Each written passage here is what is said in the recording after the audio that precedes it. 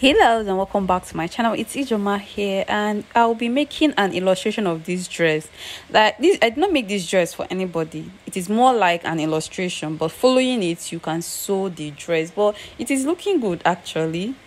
And the process is very easy. So if you're making this type of dress i will recommend a stretchy fabric. It should be a stretchy fabric so that it will relax very well on your body. Now i have my basic skirt block. I have drafted a basic skirt block if you have been following me you should know how to draft a basic skirt block. I have the front and the back and the back has a zipper allowance and i will keep that aside I also have a basic bodice block and it has a V neckline. The front has a V neckline, the back neckline, the depth is 1.5. So it stopped at the half length. I've not added any allowance for now and I'll go ahead and notch the dart for the back. Then you can see that we have our front and our back. I will keep my back aside. I will cut it on the normal fabric but for the front i will have to do some manipulations on these fronts before we can start sewing the the dress the, the the bodice of this dress has the slash and spread right? Now this is the front and this is the fabric that i will be using. It is a calico like it is should i call it a an army green calico? Then that's what i'll be using for this. And add one inch seam allowance to the bodice to the bodice. Add one inch for your seam allowance. So for the fronts from the bust point, you will measure your underbust, get your underbust and mark your underbust line. This is my underbust line. Then I'll label my underbust. Then at the side of these bodice, I will come down by one inch from the underbust and from that one inch I will connect to the center of my bust point one inch below under bust and then to your bust point you can see what I did there so this is the V shape that we'll be using and I'll go ahead and cut the other one off. The other one we have our normal body measurements but this particular top the top area like they we have two pieces here right? The down and the upper one. So this down one i'm just trying to close my dart on my fabric. You can go ahead and close your darts on your paper sorry. You close your dart on your paper so that when you are cutting out on your fabric you don't have to add another dart on your fabric. Your fabric will be plain. So i'm trying to close the the dart this is the center and this is the side. So after closing the dart i'll go ahead and trim it off very well. So the side you can see that the side is somehow longer. That is because i did not add a bust dart. What i'm going to do is that i will go ahead and trim everything properly. That is one good thing about closing darts on paper. It will give you a very clear view of what you are doing. You can adjust before sewing so you can see i'm trimming off the side because i did not add a bust dart now everything is equal. This one is for the lower part of the bodice and the other one is the top. So for this top i'm going to mark straight lines on it. I'm going to mark straight lines on it because i will slash and i will spread that's why I said that you should use a stretchy fabric. If you are making this, use a stretchy fabric, not a thick fabric, a light, stretchy fabric, so that after making these drapes, when you wear it on your body, everything will relax. Everything will relax very, very well. So you can see I am marking straight lines, and I also want to make my neckline to be deeper. I want my V neck to be deeper and uh, I will also label all these pieces. Do not forget to label your pieces so that when you are cutting out, when you are spreading, you will not get confused. I have 1, 2, 3, 4, 5, 6, 7, 8, 9, 10, and 11. I have 11 pieces here. So what I'm going to do is that using this paper, this upper one, I will cut out my lining first. I will cut out the lining for the upper one. This is for the back. I am done cutting out my pieces for the back the back is just normal not normal that and all. Then for the skirt i am done cutting out my skirt. This is the back. I have two pieces right there. It has a zipper allowance and i'll also keep it aside.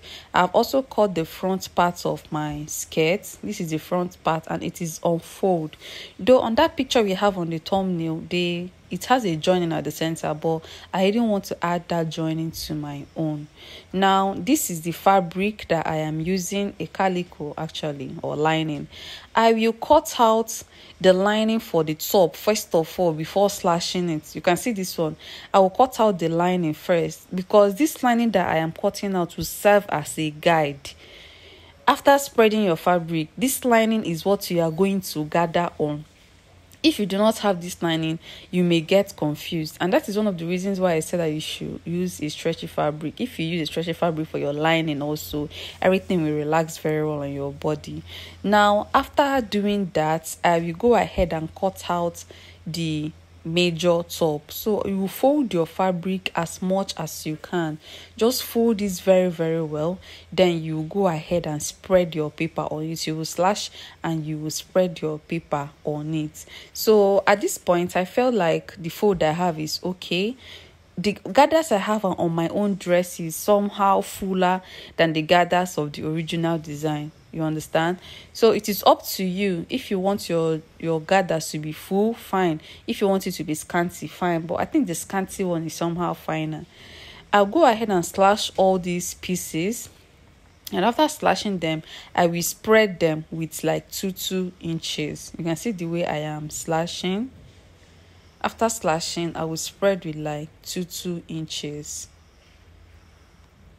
so as i was spreading i noticed that the fabric was not really know is not really enough. So i had to fold my fabric more and i took it off. So as you are spreading this please be very careful because you know that the paper will be will be in a descending order. Like as you are going towards the side the papers will be coming down. Just make sure that they are equal at the shoulder level. As long as they are equal at the shoulder level the rest will take care of themselves. So now i will rearrange them so that this fabric that i have will be enough.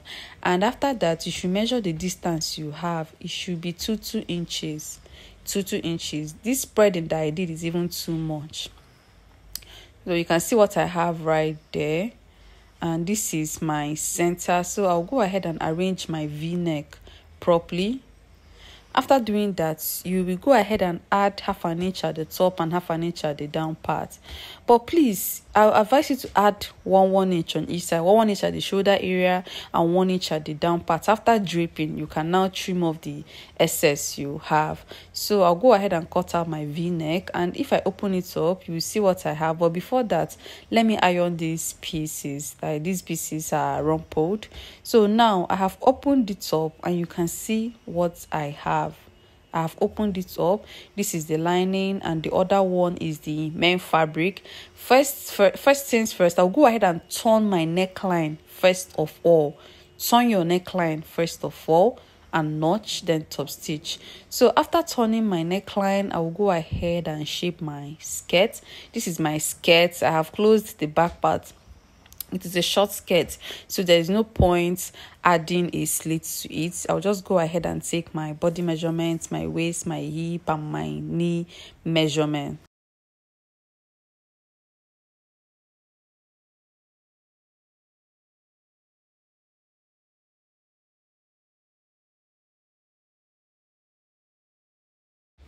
So now after adding after marking my measurements and I'm done turning my neckline also. Turn your neckline first of all, it is important.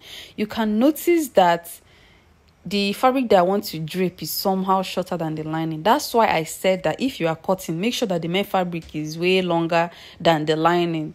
Make sure that it is longer than the lining. I am showing you guys my mistake so that you will not do it when cutting. So what you are going to do right now is that you will start gathering your fabric around your shoulder.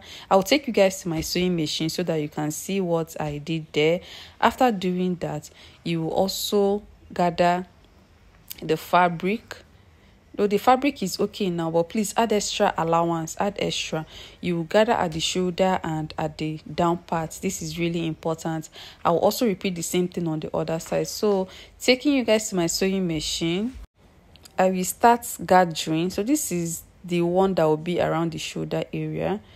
So if you want you can gather and then attach to your shoulder but i am pleating everything on my shoulder. This fabric that i'm using is somehow thick for this style. That's why i said that you should use a light lycra like a light stretchy fabric. Then after pleating on the shoulder i will cut off. After that i will start from the armhole. Just make sure that the pieces that you cut out enters what you are doing so when i got to the armhole area i pleated some also.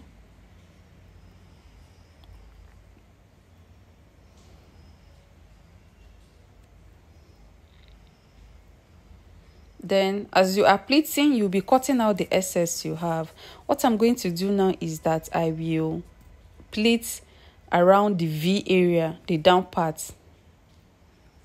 This is like the yoke of this dress. I'll start pleating there so you guys should just watch how i did them. If i if you have any issue you can just loosen and replete again. I hope you understand what i'm saying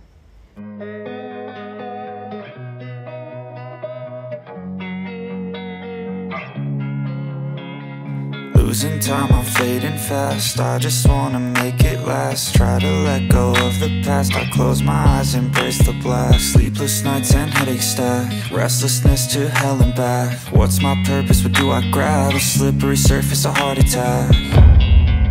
And sometimes you just gotta believe There's something that'll give you relief. There's something that'll have what you need what you need We're broken, it's tragic. We're not all elastic But maybe there's magic. Believe you could have it. And I know of sadness The anxious and panic The infinite vastness Of all that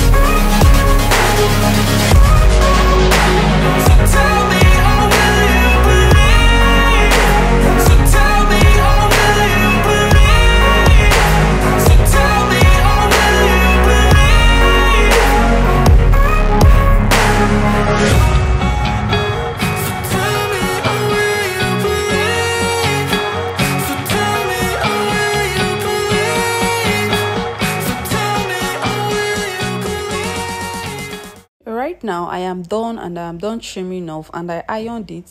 I ironed what i have. So now i am going to join the top and the down part. I'm trying to cut out the down parts of that bodice. So you fold your fabric and then you place your pattern paper on it. Then you add half an inch round everything after cutting this i'll also cut out my sleeve. So for the sleeve you're free to add any sleeve of your choice but i am adding a puffy sleeve to this. I want to add a puffy sleeve to this. I'll fold my fabric twice. After folding it twice i'll just go ahead and cut out my sleeve. So i'll add an elastic at the down part and then i'll gather it at the top. Now this is the base of these bodice i'll go ahead and fix it. I'll join the top to the down part. You can see i closed that on my paper so i don't need to add any darts to this. After joining this is what i have. This is an illustration. I hope you remember. I am not making this dress for anybody. So right now i'll go ahead and join the front and the back. I'll join them at the shoulder and i'll also shape. So after shaping just trim your armhole trim your armhole then you will join the upper part to the lower part of the skirt. After doing that you also attach your sleeve. So i am done attaching my sleeve and then this button is custom made using your button i don't have a button maker so i took it to the market.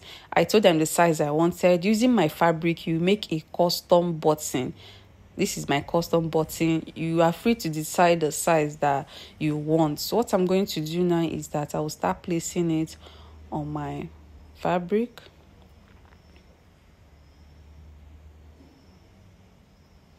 So I'm arranging i'm not going to attach this. This is just a tutorial guys. I'm just illustrating for the sake of the people that wanted this tutorial. So i'll just go ahead and arrange my buttons. And at the end of the day this is what i have. So guys you know i have a fashion school. That's why i've not been posting. I am doing a lot. I am doing a lot. But by the grace of god i will keep posting on youtube. Youtube actually helped my career. So i'll keep posting. So guys do not forget to subscribe and give this video a thumbs up so that more soulmates can see it. I hope our dress is beautiful. And please we have online classes. In case you want to register we have online classes. Just drop a comment in the comment section and i will direct you on how to register um with us. Thank you all. And see you on my next video. Bye